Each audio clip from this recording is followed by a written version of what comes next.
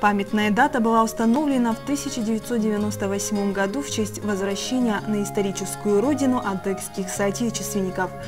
Канун празднования этого события наша съемочная группа встретилась с замечательной семьей Емыковых, проживающих на территории Кашхабского сельского поселения. Супруги Саад Емыков и Лейла Зашах вместе с детьми приехали из Иордании в 2016 году. Прожив полгода в столице республики Адыгея, они решили переехать в Аука Шахабль, место, где жили предки Саада. Мы здесь приехали в 2016, это первый раз было. Э, У мужа есть родственники здесь. Он емык, и здесь емыков есть. А, Они давно знают это емыков. Они были в Иордании знакомцы и так. Потом он уже пенсия у него. Он давно он хочет э, здесь, э, в Адыгее жить. Потом, когда четыре дети, они еще маленькие, а, говорим, все, пойдем. Да. И приехали. А там какая жизнь у вас была? Там все спокойно было? Да, Семья, да, Аман, Иордан, там все спокойно, все хорошо. Э, Родители там, все семья там. То есть ваша семья только сюда переехала, да? Да, да. Ваш муж хотел здесь жить? Да, да. И он, э, когда он э, был хочет здесь, я говорю, я буду смотреть. Потому что я ничего не знаю здесь. Язык нету, ничего нету. Потом приехали, была зима, а температура была 20 минус, очень холодно было. Вы не привыкли, да? Да, нет, у нас условиям. такой нету. И э, потом было хорошо. Мы Майкоп, потом в Пушхабель гуляем, когда снег. Только было хорошо, красиво было. Вот люди здесь как вас встретили? Там соседи, родственники? Родственники, это уимков, они очень хорошо э, встречали.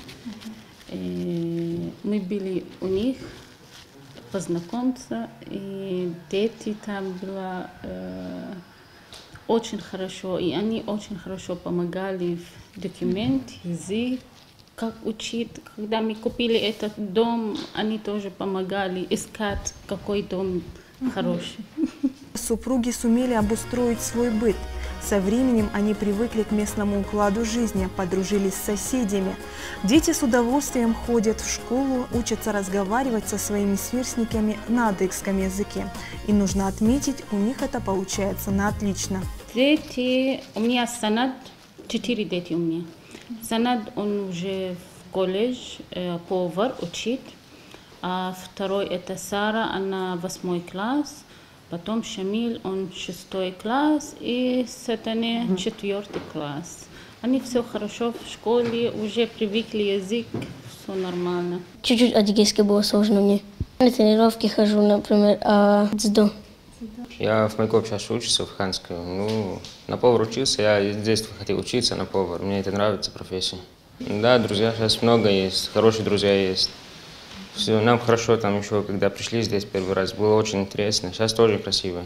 Сама Лейла пытается найти себя в преподавании арабского языка местным детям. Я уже пять, э, пять дней.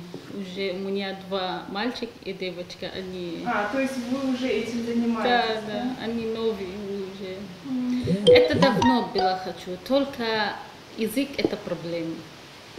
Когда нету языка, сейчас уже нормально, как разговаривать у детей, это можно сейчас. Пообщавшись с этой семьей, складывается впечатление, что супруги очень гостеприимны и дружелюбны. В их семье царит любовь и взаимопонимание.